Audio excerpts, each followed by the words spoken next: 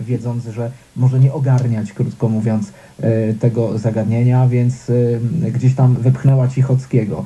E, No Teraz... proszę ojca, nie do końca, nie do końca tak. Problem polega na tym, że tak to było przedstawiane w opinii publicznej, natomiast Mhm. tak naprawdę minister Sienkiewicz, oprócz bycia ministrem spraw wewnętrznych, został powołany jednocześnie na ministra koordynatora do spraw służb specjalnych i pełnił obie te funkcje jednocześnie. Zatem ża- żadnej reformy służb czy przejścia służb pod kontrolę innych e, ministerstw nigdy nie było.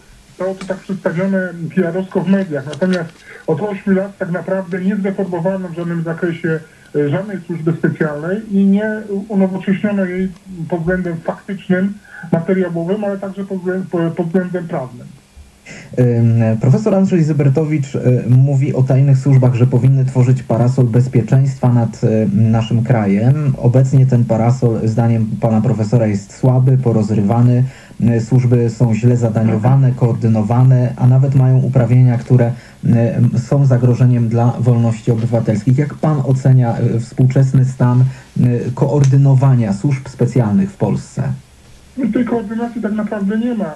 Powtarzam, nie ma w Polsce instytucji, pomimo mm, e, mm, posiadania przez, mm, e, znaczy pomimo tego zapisania w ustawie istnieje minister koordynator do spraw służb specjalnych, tak naprawdę nie ma w Polsce instytucji, która potrafiłaby zadaniować służby specjalne, em, koordynować ich działania, a także nadzorować i kontrolować tych służb specjalnych. No minister koordynator do spraw służb specjalnych nie dysponuje żadnym aparatem, który pozwoliłby na, na sprawne e, takie działania. E, e, jeżeli jest jeszcze prezes Rady Ministrów, który, który zna się na tej tematyce, to on może próbować takie, tak, e, e, przecież takie sytuacje miały miejsce, kiedy prezesem Rady Ministrów był Jarosław Kaczyński, kiedy koordynował i nadzorował działania e, służb specjalnych. Natomiast tak naprawdę system bezpieczeństwa narodowego w Polsce nie funkcjonuje. E, Co prawda pan Komorowski wydał pewną stanowisko prezydenta, e, podpisał strategię bezpieczeństwa narodowego, e, ostatnio e, podpisał doktrynę e, obrony cy- w cyberprzestrzeni. Natomiast tak naprawdę czytając te dokumenty można jednoznacznie wywnioskować, że e, e, osoby najważniejsze w naszym państwie nie e, rozumieją, e, czym są służby specjalne, jak powinny działać, jak przeciwdziałać zagrożeniom. Nie są prawidłowo zdefiniowane te zagrożenia, ale przede wszystkim nie ma zaproponowanych konkretnych rozwiązań, jeżeli chodzi o e, e, e, neutralizację różnego rodzaju zagrożeń. No weźmy na przykład zagrożenie w cyberprzestrzeni. No ostatnie lata to są ataki różnego rodzaju niezident- niezidentyfikowanych sił e, na różnego rodzaju systemy komputerowo-informatyczne na Litwie, Łotwie, w Stanach Zjednoczonych czy w, Niemczech, tak? E, w normalnym, e, rozwiniętym kraju stworzono by e, do, do tego celu odpowiednią jednostkę w ramach struktur cywilnych i wojskowych, które która by przeciwdziałała, przeciwdziałania zagrożeniom w cyberprzestrzeni. Mamy ostatnie informacje, które zresztą się ukazały na łamach naszego dziennika, iż Izrael tworzy właśnie taką profesjonalną jednostkę e, kontrwywiadowczą, w cudzysłowie, jeżeli chodzi o zagrożenia cyberprzestrzeni, czyli mającą zapobiegać atakom e, hakerów czy atakom różnego rodzaju e, na infrastrukturę krytyczną, ale jednocześnie także jednostkę, która ma prowadzić ofensywne działania mające na celu no, szkodzenie przeciwnikom w sferze informatycznej. I nie ma doktryny ani strategii wskazania, jak to należy zrealizować, czym powinna powstać osobna, powołana ustawą jednostka do realizowania tych celów, tylko po prostu ogólnikowo się to stwierdza, to ładnie wygląda w dokumencie, ładnie to jest em, sformułowane, natomiast nie idą za tym faktyczne działania. I tak naprawdę ten system bezpieczeństwa narodowego nie istnieje, Szanowni Państwo. Są instytucje tego systemu, które, ale to są instytucje fasadowe, e, które nie potrafią realizować podstawowych zadań w sferze bezpieczeństwa narodowego. I to i mówię to o służbach specjalnych czy innych instytucjach, na przykład o obrony cywilnej czy, czy e, straży pożarnej i tak dalej. Natomiast są też inne instytucje, które są przygotowane do e, wpięcia w system bezpieczeństwa narodowego, ale osoby zarządzające i tymi instytucjami nie, nie posiadają wiedzy, jak należy reagować, jak należy e, te działania podejmować tak, aby ten system był spójny i, i, sprawny.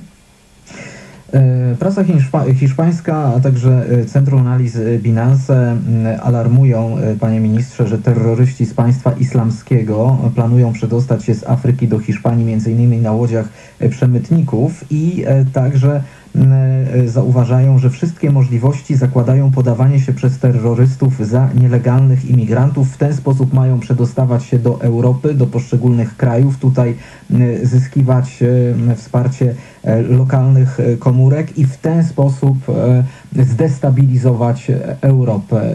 Jak nasze służby powinny reagować w takich sytuacjach?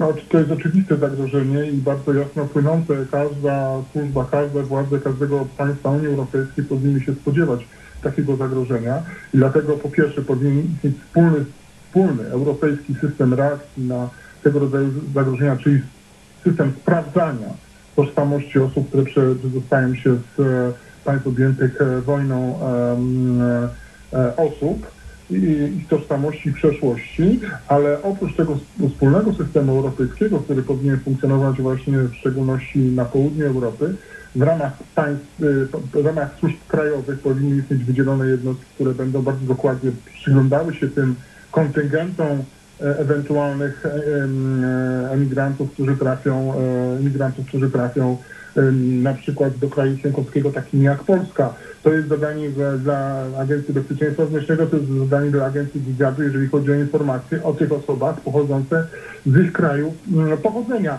To jest poważne zagrożenie. E, niewątpliwie mm, w normalnych, demokratycznych państwach służby specjalne i kierujące osoby państwem zdają sobie sprawę z takich zagrożeń i na pewno będą przeciwdziałać. Natomiast no, szczerze mówiąc, e, mogę powiedzieć tak, że e, do końca nigdy się nie uda zabezpieczyć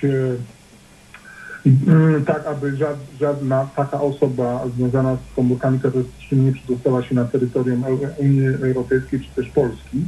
I dlatego też bardzo ważna jest ta praca e, służb, jeżeli chodzi o e, reakcję na zagrożenie terrorystyczne, ale także e, reakcję na zaistniałe już ewentualne zagrożenie czy zaistniały zamach terrorystyczny. To niestety w Polsce całkowicie leży. Jeżeli chodzi o rozpoznanie zagrożeń, to ono jest najgorsze, dlatego że nasze służby korzystają tutaj szeroko z pomocy e, służb zachodnioeuropejskich. Są specjalne systemy wymiany danych, e, metody i sposoby współpracy. Natomiast jeżeli chodzi o ewentualną reakcję na potłucza, to wypluć zagrożenie już bezpośrednie atakiem terrorystycznym, czy też reakcja po ataku, no to tutaj w moim przekonaniu nie ma profesjonalnie przygotowanych algorytmów działania. Takie algorytmy w swoim czasie były przygotowane ale niestety mm, no, zostały zniszczone. Bo jeśli e, dżihadyści, terroryści zaczną wykorzystywać ten sposób, e, nazwijmy go, na e, imigranta, i w ten sposób przedostawać się do Europy. Unia Europejska będzie rozdzielać e, kwotowo liczbę imigrantów, którzy mają osiedlić się w danych państwach. Ci imigranci przybywają zazwyczaj bez żadnych dokumentów E, identyfikacyjnych, więc ta identyfikacja stanie się o wiele trudniejsza i zagrożenie mm, tylko wzrasta. Jasne, ale mm, po pierwsze mamy już jakieś doświadczenia związane z, mm, z Czeczenią, z diasporą czeczeńską, imigracją czeczeńską. Z diasporą. Słyszeliście Państwo, jakich słów ten Żyd używa? Prób przedostawania się w, w, Wszędzie w ramach tej diaspory, tej imigracji osób podejrzewanych o